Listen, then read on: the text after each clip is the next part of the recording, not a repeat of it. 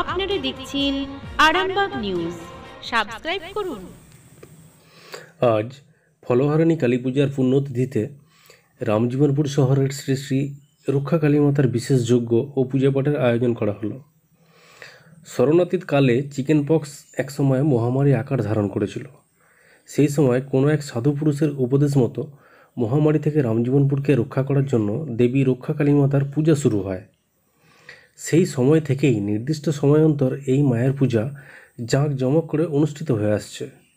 তাই যখন করোনা মহামারী সারা বিশ্বে ছড়িয়ে পড়েছে, সেই সময় সারা মানবজাতিকে রক্ষা করার জন্য বিশেষ মাতৃ আরাধনার আয়োজন করা হলো।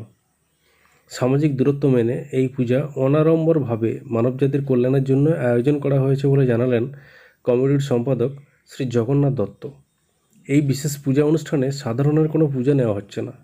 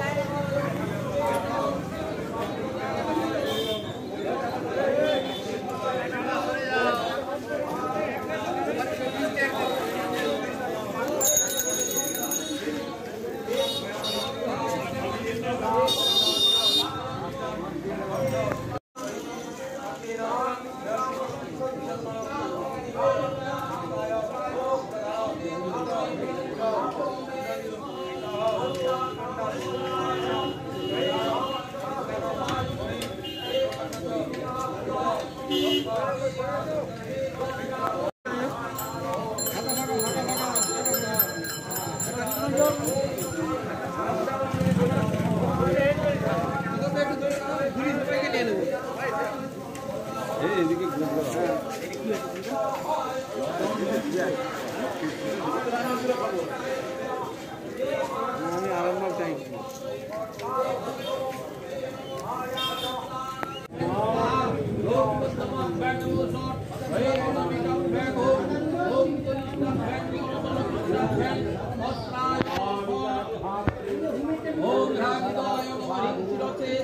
Oh, oh, oh, oh, oh, oh, oh, oh, oh, oh, oh, oh, oh, oh, oh,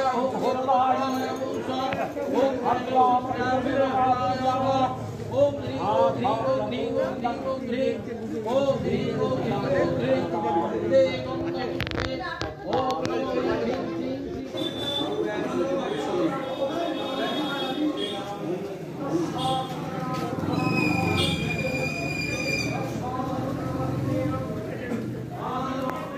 প্রচলিত বিশ্বাস যে রামজনপুরে ওই স্মল পক্স একবার মহামারীর আকারে দেখা দিয়েছিল। তখন তো মানে স্মল পক্সের কোনো রকম কোনো ইয়ে বেরোয়নি, টিকা বা ভ্যাকসিন এটা বেরোয়নি। তা কোনো একজন সাধু এসে নাকি বলেছিলেন যে এখানে দেবী রক্ষাকালীকে সন্তুষ্ট করে তোমরা পূজা অর্চনা করো তাহলেই তোমরা এই ব্যাধির হাত থেকে রক্ষা পাবে। সেই বিশ্বাসের বশবর্তী হয়েই এখানে মন্দির স্থাপিত হয়েছিল বা পূজা শুরু হয়েছিল।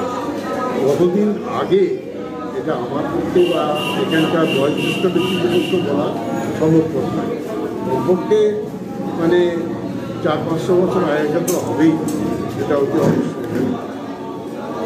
এই আর সত্যিই এটা খুব যে এরপর থেকে কিন্তু রাজনীতিপুরে কখনোই কোনো মহামারী প্রকোপ দেখা দেয়নি। উনিই রক্ষা করেন আমাদের। উনিই রক্ষা